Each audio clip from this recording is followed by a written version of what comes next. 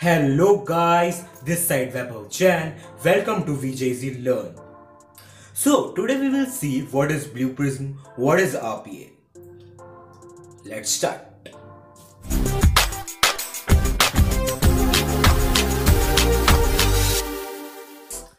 Blue Prism is the leading RPA tool in the industry. Now the industry fully started using robotic process automation tools. Now the robotic automation is trending in the technology world. We can earn better salary as a Blue Prism expert. Each and every organization want to grow their business with cost effective and wants to keep growing their business as well. World started using robotics for a lot of requirements. If we learn RPA tools, we will get better future.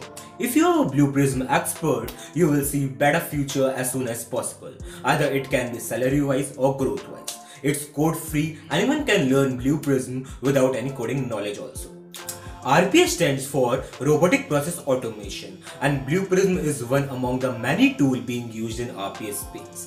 In simple terms, any repetitive manual office work executed by a human effort could be replaced with automation tool. For example, we can write a program that would automatically start running at certain time and log in to give 100 web account in a site and grab the details back to the sheet without any manual work. The scope is endless. In a nutshell, we can automate anything you see in monitor. As we know, Blue Prism is one of the tool used to achieve this automation. We can do automation in Excel sheet also using VBA. Only difference is that the tool like BP, UiPath and Automation Anywhere eliminate the need of coding to do automation and provide better control over solution than traditional automation being done through .NET, Java, VBA, etc. Now we talk about what is Blue Prism. So, Blue Prism is a UK based software company and is one of the leading robotic process automation tools. As we know, Blue Prism has gained edge over its competitors as it has better security, flexibility, scalability, compliance, and resilience. Blue Prism is a RPA tool which holds the capability of virtual workforce powered by software robots. This helps the enterprises to automate the business operation. In an agile and cost-effective manner, the tool is based on Java programming language and offers a visual designer with drag and drop functionalities. Now we talk about Blue Prism benefit. Okay, robotic process automation Blue Prism technology has several advantages such that increase efficiency, improve accuracy, low operational cost, elevated CX, richer data analytics, higher employee productivity and satisfaction, easier and agile process design and faster time to market. Now we will talk about different types of Blue Prism software. There are six type of tabs in Blue Prism. Number one is Home. Home has displayed different charts which give information about the Blue Prism database. And second is Studio. Studio is an important part of a Blue Prism where we implement actual automation steps. There are two studios, Object Studio and the Process Studio.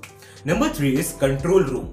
Control room is the central point of administration in Blue Prism where it handle, control, monitor, execute and schedule of process execution on the distributed boards. Number 4 is dashboard.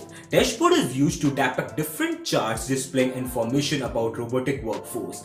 Number 5 is releases. Release Manager is used to manage import and export of a configuration packages between different Blue Prism environment. Number 6 is System. System tab is used by administrator for user management. Okay, so now we talk about what is Object Studio. Object Studio is mainly used to develop the objects. Inside the object, we have different type of action so number one is application modeler to spy elements. Application modeler is used for spying the application. Spying is the identifying the element in the application. Different types of spying modes are available. Win32 mode, HTML mode, accessibility mode, region mode. Okay, number two is initialize page and cleanup page. Now we will talk about Process Studio. What is Process Studio? Process Studio has only main page. If the page is published, we can call from the Process Studio. We use the Process Studio for developing and testing. Now we will see difference between Object Studio and Process Studio. So, Object Studio creates object graphically by development tool. In Process Studio, diagram creates that look like flow diagram by development tool. In Object Studio, stages are there read, write, navigate, code, wait, etc. And in Process Studio stages, we have alert stage in the Process Studio. And number three is Object Studio.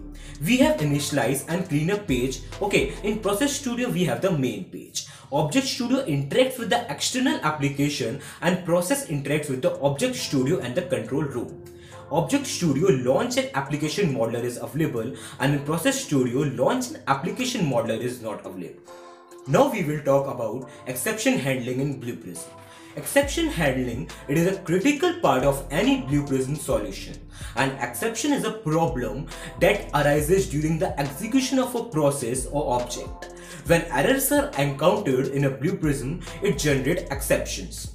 Okay, now we will talk about exception handling stages. Number one is recovery. Begins a block for handling exception and second is resume. Ends a block for handling exception. Now we will talk about types of exception. Number one is internal exception. It based on, on our missing mandatory data in stages. Number second is system exception. System exception will occur based on internet is down or our bot need internet or any system failure.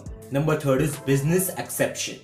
These exceptions are not actually exceptions. However, based on the business rules, we are creating the exception we need to file manually through bot. Now we talk about work queue. It is an internal configurable list that enable a process to manage its workload. A process can use different work queue and work queue can be shared by multiple processes if required. And queue management tab in the control room provide the operational user interface for work queues. The tab is divided into two. A list of queues is shown in the upper half and the lower half show a list of item in a queue. Now we will talk about tags. A tag is a keyword of a term assigned to a work queue item as a method of categorizing or grouping that item. Adding a tag to a work queue item simply requires the use of an action stage. Now we will talk about status. Each work queue item has a status. The status can be used as a method of recording what work has been done so far on a work queue item. Now we will talk about priority. When designing an automated solution, you should consider if any different work types or scenarios within the process should be worked before other work item. Now we'll talk about Credential Manager in Blue Prism. Credential are a secure repository for detail used to log into target application. They are encrypted in the Blue Prism database to make them only accessible to those who should be able to use them. The credential management system determines which process, resource and roles have permission to access the information and a special internal credential business object provide action for using credential. At last we will talk about scheduler. Blue Prism tool allows to execute processes at a specified time and repeat their execution at various intervals. So it is termed as scheduler. If you like this video, please like, share, comment and follow me. Okay, and subscribe my YouTube channel. Thanks for watching.